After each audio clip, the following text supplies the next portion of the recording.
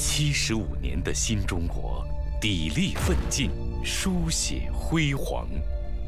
它是笔墨下的壮志凌云，它是旋律里的春潮涌动，它是舞台上的芳华绝代，它是荧屏里的岁月流淌。在新中国七十五周年华诞之际，让我们以文艺之名，赴时代之约，共同唱响文艺里的新中国。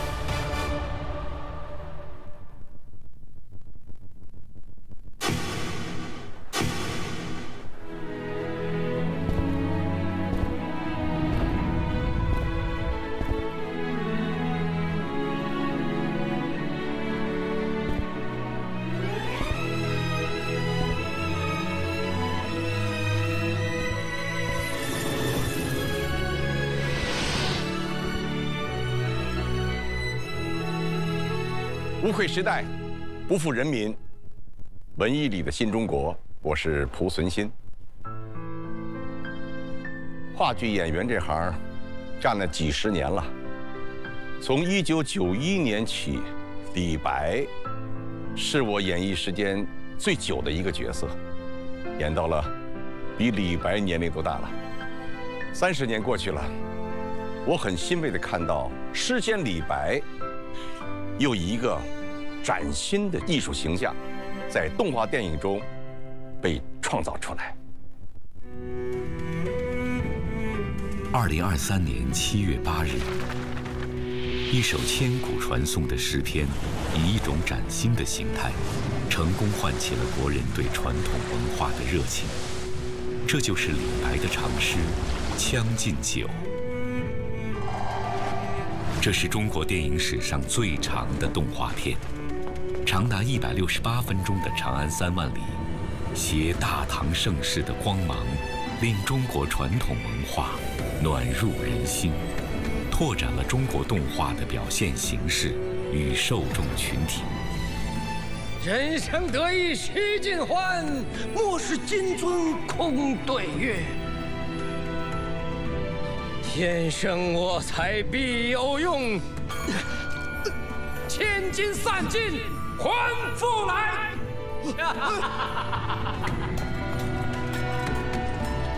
衡阳宰牛，且为乐，会须饮三百杯。陈夫子，丹丘生，将进酒，杯莫停。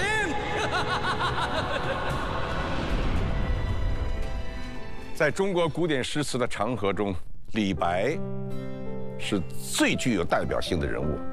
他的诗句脍炙人口、家喻户晓，他的诗情是流淌在每一个中国人文化血脉里的基因。我在舞台上塑造了李白，而李白的人生在塑造我们。这部动画电影中。《将进酒》这三分半钟的精彩段落，主创团队花了近两年半的时间打磨创造。他们敢于付出如此制作成本，敢于完成一百六十多分钟的片长，这是他们坚信今天的时代，我们的观众是热爱中华传统文化的。电影监制余舟说。《长安三万里》是献给盛唐的一曲颂歌，也是写给今人的一封家书。我很喜欢这句话。这个时代用动画片塑造了李白，能让多少观众再接近李白的故事，接受李白和那些了不起的中华文化先贤的感染？我们真的从《长安三万里》中看到了。艺术中的中国气象。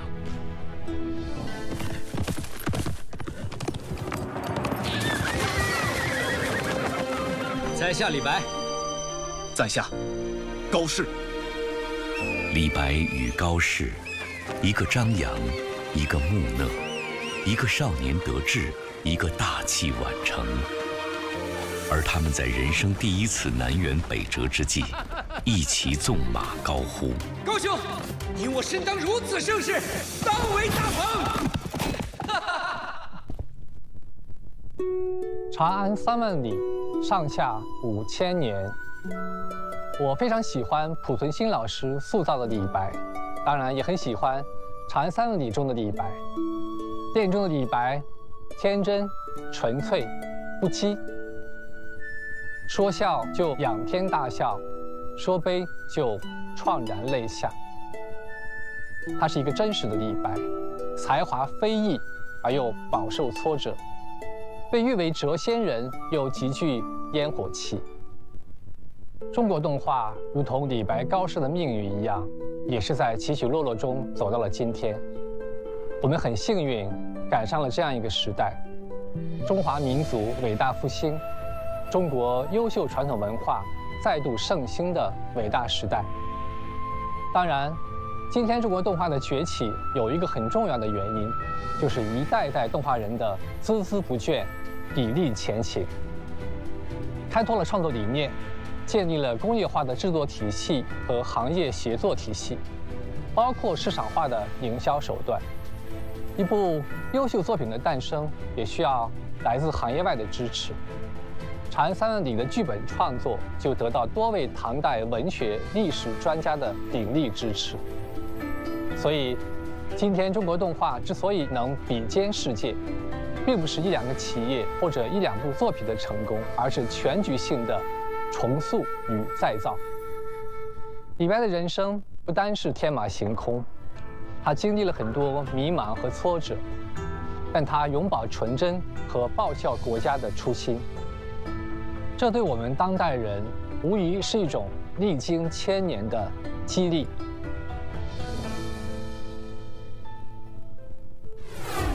赵客漫胡缨，吴钩霜雪明。银鞍照白马，飒沓如流星。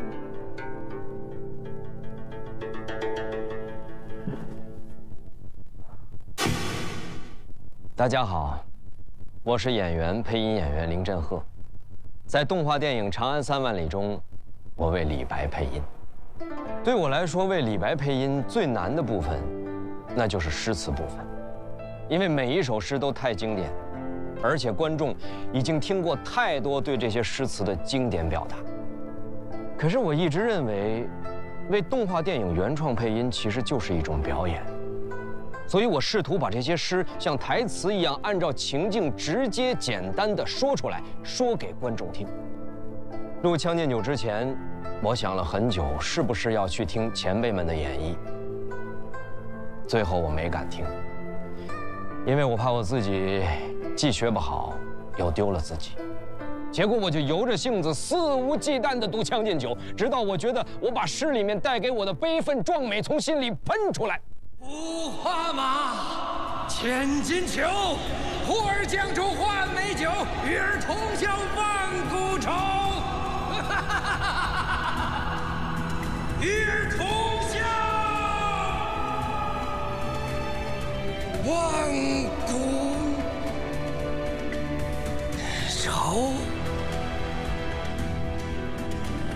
将进酒》给我的感觉是疲惫边缘的奋力一击，是退无可退之人的怒吼。这是一种在困苦中爆发出来的希望的力量。太白先生的诗歌绽放出的光芒，感染鼓励着一代又一代的华夏子孙，已经一千多年了。所以我想，李白有多伟大，根本不用我去塑造。所以，我更希望把李白能塑造成一个有血有肉的人。我想让他像我们普通人一样，有我们的苦闷，有我们的脆弱。也许先拿掉这诗仙的光环，才能让我们这些普通人理解这位天才，才能让我们从他的诗里、生活里汲取力量。在《长安三万里》中，李白对着高适大喊：“你我身当如此盛世，当为大鹏。”这句话穿越时空，与我共鸣。唐诗的光芒照耀古今，顺着那道光，我们瞬间可以翻身上马，驰骋在盛唐的原野上。妈妈，好妈妈，妈妈给我们找到了。千帆竞秀，百舸争流。一九七九年，中国第一部大型彩色宽银幕动画长片《哪吒闹海》异军突起。此后，创作者们融合戏曲、壁画、剪纸等传统艺术形式，推出了《阿凡提》《三个和尚》《猴子捞月》《雪孩子》《黑猫警长》《葫芦兄弟》。山水情、宝莲灯等民族风格的作品，努力寻找市场化的突破口。经过四十年的探索，二零一五年，中国动画终于以《大圣归来》为起点，在新时代再次起航。这是产业的振兴，也是传统的复活。命由我不由天，是魔是仙，我自己说了才算。必须去化作人间的风雨，陪在你身边。无论他还记不记得我，我都要找到他。你别忘了，俺可是齐天大圣。人是。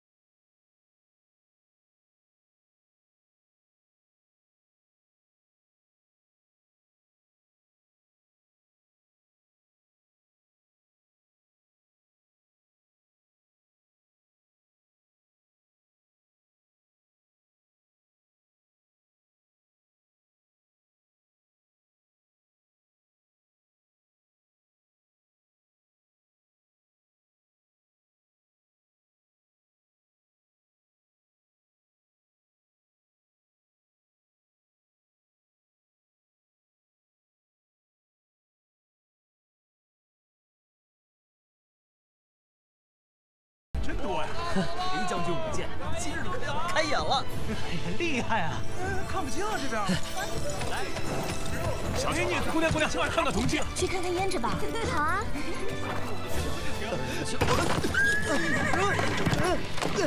这这位兄台，抱歉，抱歉。这部电影太好看了，把我们只能在想象中。看到了长安的这种繁华，李白性格鲜明的表现出来了。他们用光影做画笔，用银幕做画布，用所有今天的高科技手段，完成了这一部了不起的作品。《长安三万里》真的很好，真的很好。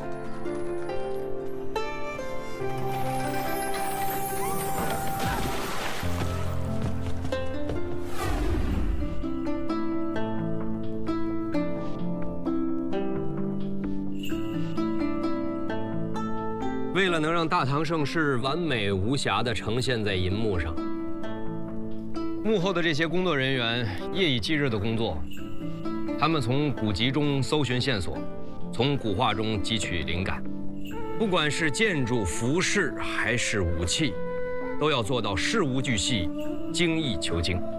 就连李白身上的一颗小小的扣子，都要查阅大量的资料，因为李白是中国人心中的盛唐。既然选择了如此伟大的主题，就不能辜负这份厚重。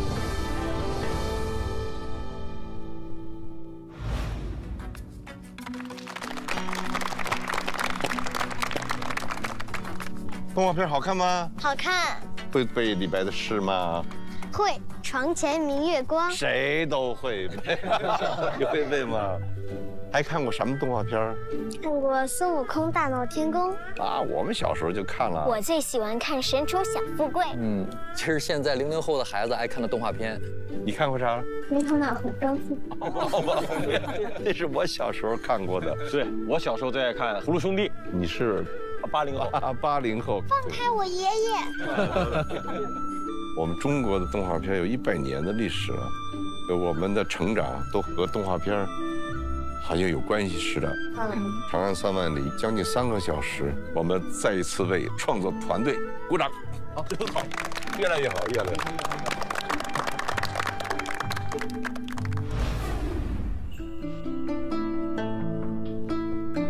越来越好的背后，是无数的努力与坚守。中国动画走过了波澜壮阔的百年历程，并非是一路坦途。一九二六年，万氏兄弟的大闹画室开启了中国人自己的绘梦之旅。新中国成立之后，大闹天宫大放异彩，让全世界领略了中国动画的魅力。但是难免辉煌之后会有短暂的低谷。随后，《大圣归来》《哪吒之魔童降世》等佳作不断涌现，国漫强势崛起。承载起了中华文化的传承与创新。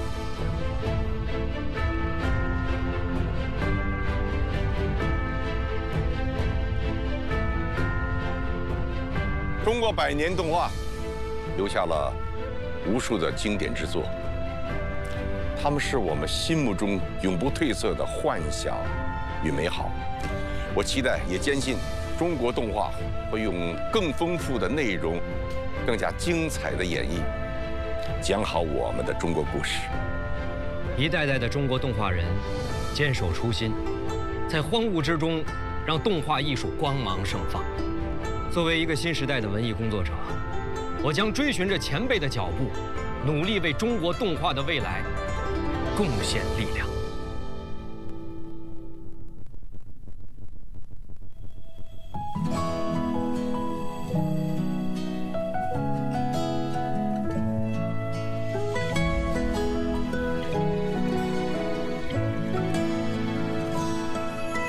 给流水画上山给大山画上树在水边在树下画出生动的人物。给蓝天画上云画上雨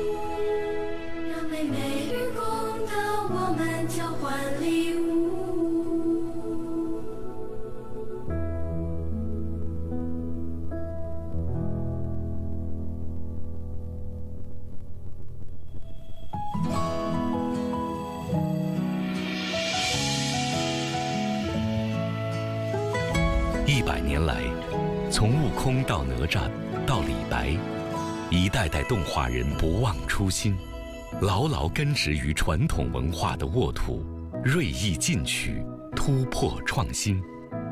中国动画终于建起了与世界比肩的动画生产体系，成为文化复兴的又一个桥头堡。